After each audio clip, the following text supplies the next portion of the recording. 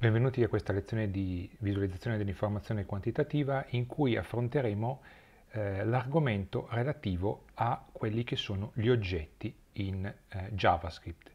Gli oggetti sono un'entità che è molto utilizzata in Java, eh, abbiamo già fatto riferimento a questo tipo di eh, dati, eh, parlando ad esempio dei metodi, eh, delle stringhe, dei valori numerici, L'obiettivo a questo punto è capire meglio come funzionano gli oggetti e come possiamo noi andare a eh, utilizzare direttamente gli oggetti per eh, svolgere delle attività eh, utili. In generale, quando parliamo di oggetti, facciamo riferimento a qualunque cosa compaia all'interno di JavaScript, perché qualunque eh, entità che noi andiamo a manipolare, eh, stringhe, array o altro, sono sostanzialmente dei particolari tipi di oggetti.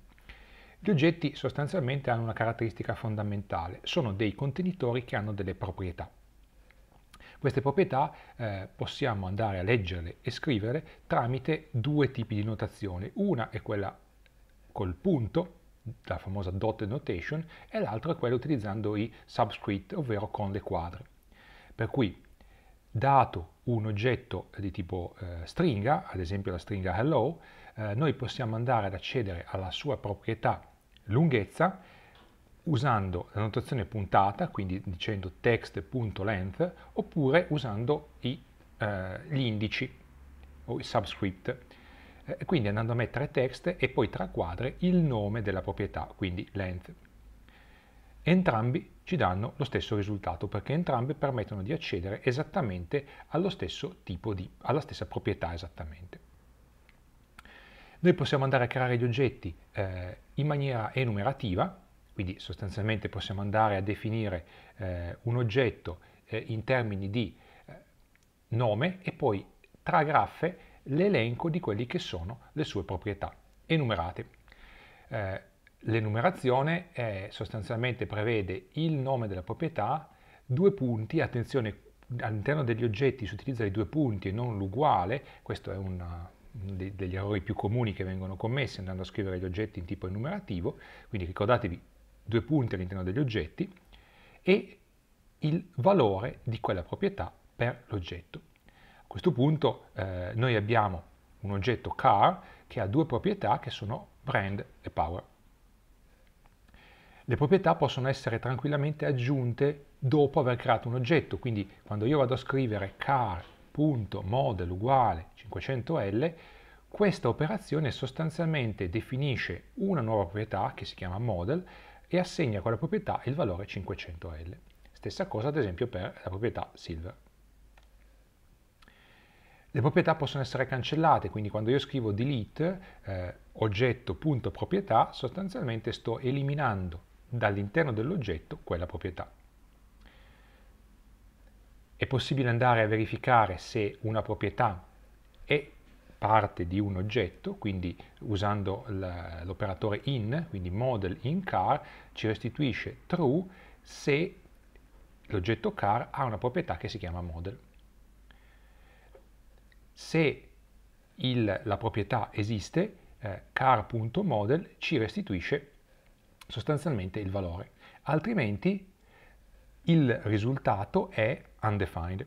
Quindi è come una variabile che io dichiaro ma non definisco, di cui non definisco il valore, e allo stesso modo se io ho un oggetto e cerco di accedere a una sua proprietà che non esiste, il risultato è undefined. Posso utilizzare gli oggetti tramite la capacità di accedere agli attributi, tramite le proprietà, tramite mm, la notazione tramite indice, come dei contenitori associativi. Ci sono diversi tipi di contenitori. Gli array sono semplici contenitori, in cui io posso andare a mettere eh, dei valori e a cui posso accedere tramite un indice.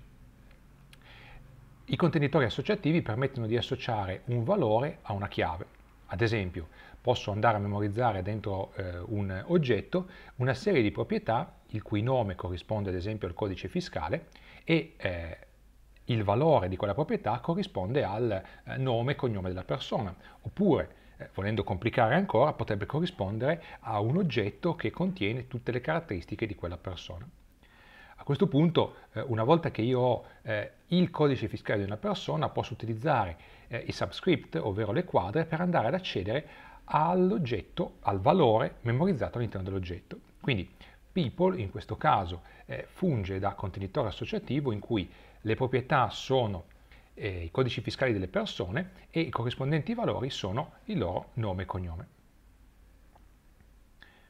Questo è un, un, una funzionalità molto utile perché molto spesso all'interno dei miei programmi io non voglio semplicemente accedere a un elemento di un contenitore tramite un suo indice, ma voglio poter dato una chiave, recuperare il valore corrispondente e gli oggetti si prestano a questo tipo di utilizzo.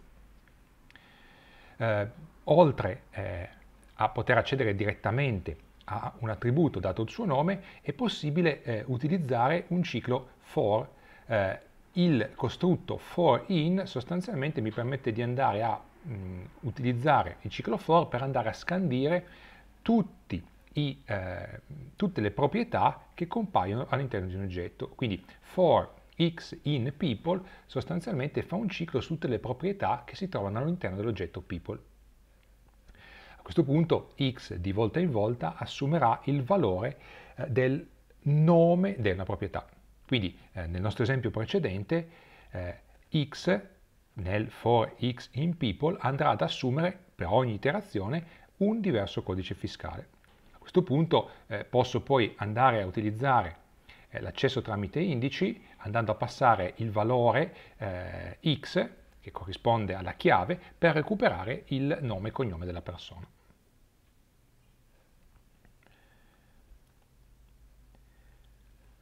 Come dicevo, le proprietà potrebbero essere eh, dei nomi a cui fanno eh, riferimento altri oggetti, per cui eh, un modo abbastanza utilizzato in JavaScript di andare a memorizzare eh, operazioni, insomma, dati complessi, è quello di andare a utilizzare un oggetto in cui ho una serie di chiavi e queste chiavi corrispondono a dei valori che sono a loro volta degli altri oggetti.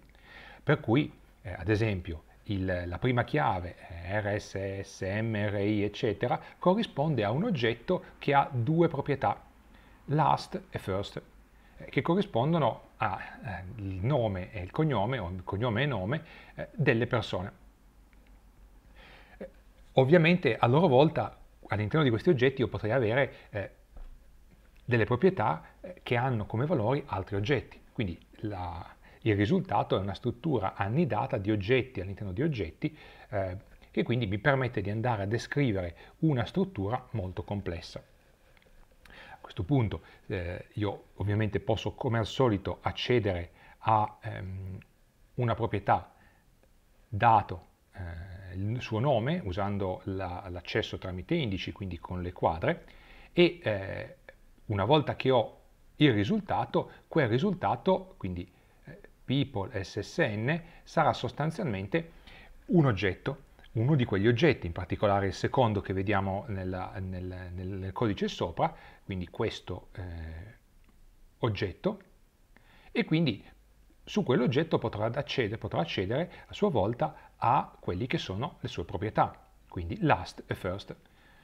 Ad esempio posso utilizzare la notazione eh, puntata, ma potrei anche utilizzare una notazione con le quadre, quindi avere un'altra coppia di quadre con all'interno la stringa last.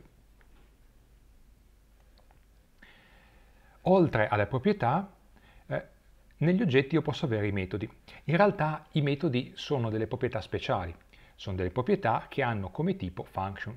Se vi ricordate quando abbiamo parlato delle funzioni abbiamo detto che le funzioni possono tutto sommato essere trattate come valori qualunque, quindi io posso assegnare una funzione a una variabile, quindi quella variabile avrà come tipo il tipo funzione e quindi quella variabile potrà essere utilizzata per invocare la funzione semplicemente andando a mettere eh, le tonde per la chiamata funzione.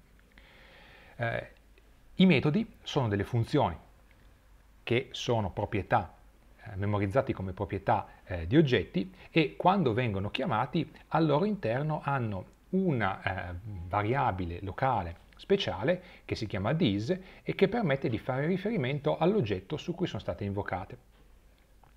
Esempio, eh,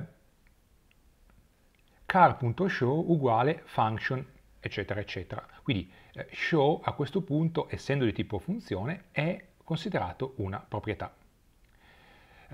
La funzione che cosa fa? Eh, restituisce una stringa che contiene this is a, poi this.brand. Cosa vuol dire? Vuol dire che this è l'oggetto su cui è stata chiamata la funzione, o meglio, il metodo. Quindi se io scrivo car.show, eh, quel metodo show andrà a prendere la proprietà brand dell'oggetto su cui è stato chiamato e andrà a recuperare il valore e sostanzialmente, sostanzialmente lo va a concatenare con questa stringa con uno spazio e poi con un altro elemento che è il valore dell'attributo model dell'oggetto su cui viene chiamata. Per cui quando vado a chiamare car.show, eh, dove car è l'oggetto che abbiamo eh, creato eh, nelle, nei passaggi precedenti, ovviamente brand sarà Fiat e eh, model sarà 500L. Per cui il risultato eh, di questo metodo è this is a Fiat 500L. Perché? Eh, perché prendo l'oggetto, vado a invocare il metodo utilizzando questa notazione puntata. Quindi sostanzialmente car.show, se ci limitassimo eh, a, a car.show senza mettere le tonde, sarebbe un modo di accedere al valore dell'attributo, eh, della proprietà, scusate, show all'interno dell'oggetto car. Quella è una funzione, quindi avremmo il codice della funzione. In realtà noi vogliamo andare ad eseguire quel codice e quindi andiamo a mettere le tonde. Le tonde sostanzialmente, oltre ad accedere alla funzione, che in questo caso è un metodo perché viene chiamata appoggiandosi a un oggetto, eh, eseguono la funzione, quindi eseguono l'istruzione che vediamo sopra e quindi va, andrà a restituire la concatenazione di una stringa e del valore di, alcuni, eh, di alcune proprietà dell'oggetto su cui è invocato. Per creare gli oggetti io posso utilizzare, l'abbiamo visto prima, una, quello che si chiama eh, enumerazione eh, delle proprietà, che, altrimenti detto una eh, definizione let letterale, oppure posso utilizzare quello che si chiama l'operatore new. Eh, quindi new eh, utilizza eh, quello che si chiama il costruttore degli oggetti, object, e quindi andrà a creare un oggetto vuoto. Dopo aver creato l'oggetto io posso andare ad assegnare dei valori a degli attributi che, non essendo presenti prima, verranno creati nel momento in cui assegno un nuovo valore. In generale io però posso andare a creare funzioni eh, diverse da object che possono funzionare come costruttori. I costruttori sostanzialmente cosa fanno? Eh, sono delle funzioni come le altre, che hanno dei parametri e semplicemente inizializzano le proprietà dell'oggetto che devono costruire con dei valori che normalmente sono quelli presi dai parametri. A questo punto, eh, utilizzando eh, il valore speciale quindi riferimento speciale all'oggetto corrente dis, questa classe, questa, scusate, questo, ehm, questa funzione costruttore può andare a inizializzare un oggetto. Quindi quando io uso new car, che cosa faccio? Creo un oggetto, chiamo quel metodo costruttore a cui passo dei parametri e all'interno di quel metodo l'oggetto che ho appena creato verrà inizializzato con istruzioni di questo tipo. Quindi il risultato a questo punto sarà creare un oggetto che si chiama car, che ha tre attributi, brand, model e color, che sono inizializzati a partire da, dal valore di questi tre parametri, quindi Fiat, 500L e Silver.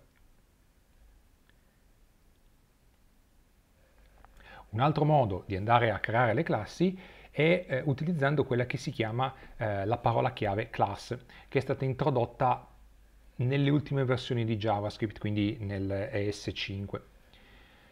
Quindi è abbastanza diffuso anche se non è supportato universalmente da tutti i browser. La parola chiave class permette di andare a definire quello che è una nuova tipologia di oggetto, che si chiama classe, e all'interno della coppia di graffe andare a descrivere come è fatta quella classe di oggetti.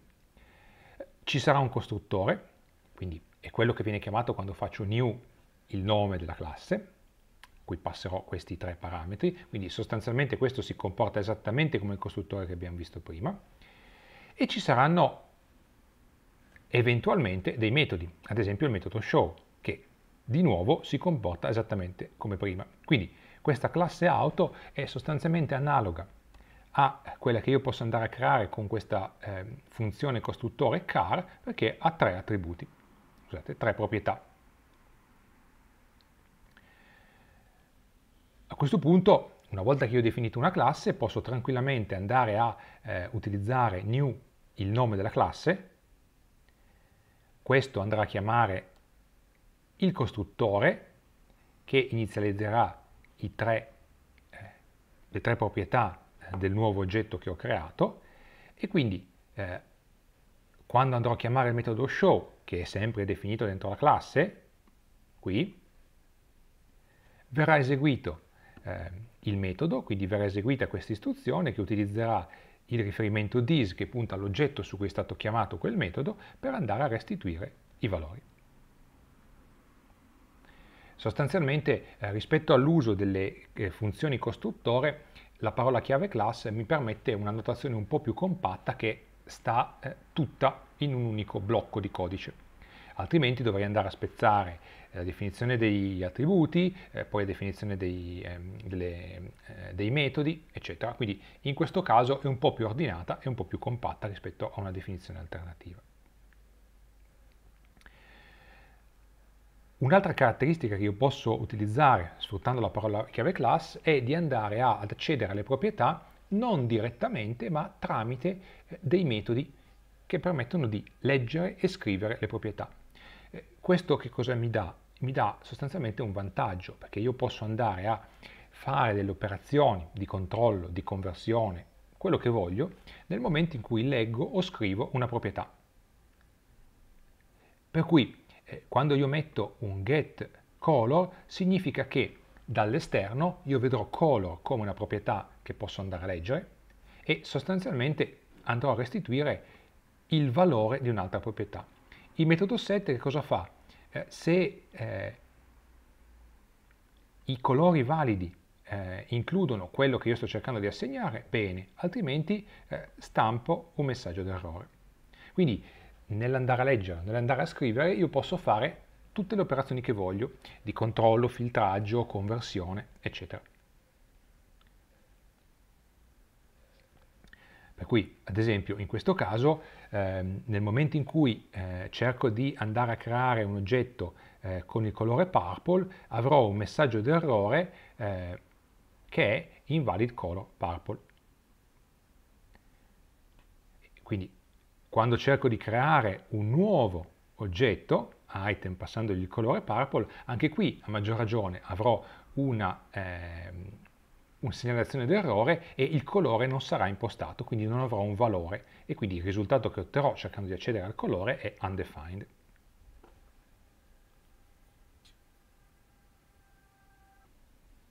Eh, JavaScript definisce un grande numero di eh, costruttori all'interno del linguaggio predefiniti che sono quelli che vediamo in, ehm, in questa slide. Sostanzialmente abbiamo eh, object, che è quello che abbiamo visto, eh, che sostanzialmente può anche essere chiamato in maniera abbreviata utilizzando una coppia di eh, graffe, eh, array, quindi io posso fare new array oppure posso fare quadre, che è la stessa cosa, eh, le espressioni regolari, di cui non abbiamo ancora parlato, ma su cui vedremo poi in futuro, ehm, o anche un costruttore di function. Quindi io posso andare a costruire un oggetto function passandogli come parametri eh, il nome e i parametri e, e il corpo, eh, oppure in alternativa posso utilizzare la parola chiave function, la tonda per i parametri e la graffa per il corpo. O una classe, un costruttore che si chiama date, di cui abbiamo parlato brevemente, un costruttore string, che è sostanzialmente eh, la stessa cosa che andare a chiamare eh, le, eh, una stringa con i doppi apici, number eh, in cui posso utilizzare 0, eh, boolean in cui posso andare a utilizzare true o false.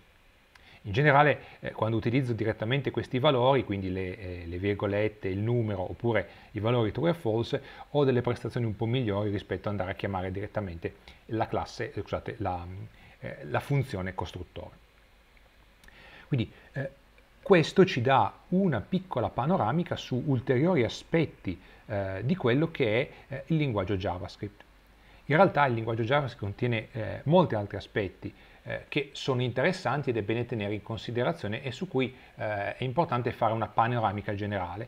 Eh, questi sono degli aspetti che ci permettono di andare a scrivere dei programmi che vanno oltre poche funzioni e, e, che io chiamo programmi in the large.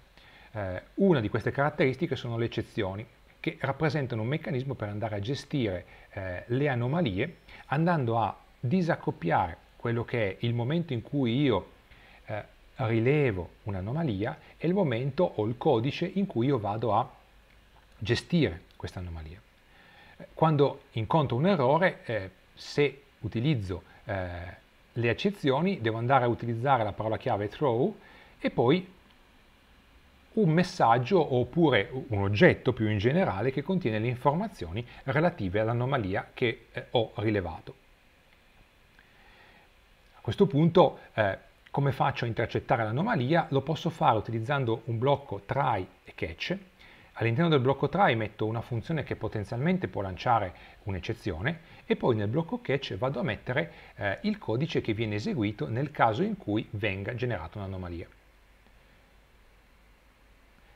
Per cui se io ho delle funzioni o dei metodi che possono generare delle anomalie, eh, quello che faccio per andare a intercettare eh, le eccezioni è di andare a chiudere in un blocco try e poi scrivere un blocco catch che in qualche modo gestisce eh, l'anomalia. Il punto è che eh, il blocco try potrebbe non chiamare direttamente la funzione che genera l'anomalia, ma potrebbe chiamare un'altra funzione la quale a sua volta chiama la funzione che genera l'anomalia. La eccezione viene lanciata, viene fatta risalire chiamata sopra chiamata finché eh, non si incontra il blocco try e in questo caso viene eseguito il catch corrispondente. Non vado oltre sulle eccezioni perché eh, l'importante è giusto sapere che esistono, eh, non andremo a scrivere codice che usa eh, le eccezioni o che le lancia, ma sappiate che per gestire eh, anomalie in maniera complessa ci sono le eccezioni eh, in JavaScript.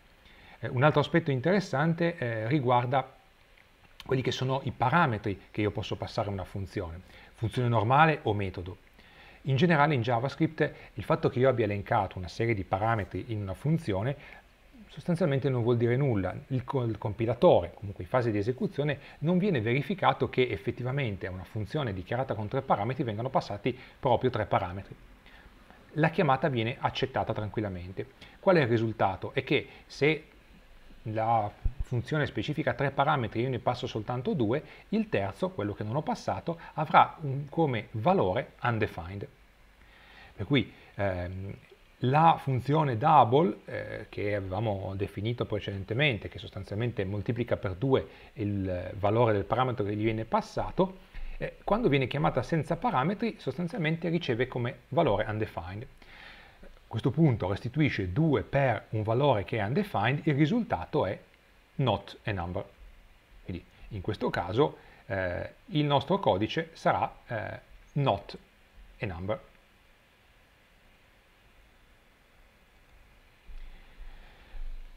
Per poter trattare eh, un numero variabile di parametri, eh, io ho eh, all'interno di ogni funzione un oggetto particolare che si chiama arguments, che contiene tutti eh, i parametri che sono stati passati alla funzione. Per cui io posso utilizzare argument.length, che in pratica si comporta come un array, eh, argument.length che mi restituisce il numero di parametri passati, che possono essere di meno, esattamente uguali, oppure di più rispetto a quelli che ho specificato eh, nella dichiarazione della funzione. I parametri che hanno un nome nella dichiarazione li posso utilizzare normalmente, eventualmente potrebbero essere undefined. I parametri in più eh, li posso andare a eh, leggere utilizzando l'indice eh, per eh, l'oggetto argument. Quindi andando a recuperare eh, l'ennesimo, l'enne più ennesimo parametro, andando a specificare la posizione eh, di quel parametro. Quando i parametri ehm, non sono passati, come vi ho detto, il risultato eh, che viene passato un valore undefined, quindi se io voglio andare a verificare che un certo parametro sia stato passato, eh, posso confrontarlo con undefined. Attenzione che ci sono sempre coinvolte in questi casi delle conversioni, quindi è opportuno andare a confrontare B con undefined utilizzando il triplo uguale, cioè quel confronto che evita qualunque tipo di conversione, perché ovviamente undefined è un valore che viene interpretato come falso, per cui se b fosse un valore booleano eh, con eh, valore falso, b, se non utilizzo un confronto privo di, di, di conversioni, potrebbe darmi un risultato true. Un'altra possibilità, quando voglio avere a che fare con parametri che non vengono effettivamente passati, è sfruttare quelli che sono i valori di default. Quindi quando io definisco una funzione posso assegnare un valore di default che è il valore che verrà passato eh, quel come quel parametro se eh, nella chiamata quel parametro non viene eh, definito. E quindi questo mi permette di andare a eh, svolgere eh, una serie di eh, semplificazioni rispetto a controllare se il parametro è undefined, se è undefined assegnare un valore, eh, automaticamente quello che viene fatto eh, in questo caso, eh, utilizzando eh, if b uguale uguale undefined, cioè assegnare a b il valore 1 nel caso in cui non venga passato, automaticamente viene fatto andando a definire il valore di default. Per cui eh, la nostra funzione increment ehm, se viene invocata senza parametri avrà a uguale a 0 e b uguale a 1. Se viene invocata con un unico parametro, questo sarà ovviamente eh, a, e quindi a sarà uguale a 10 e b uguale a 1.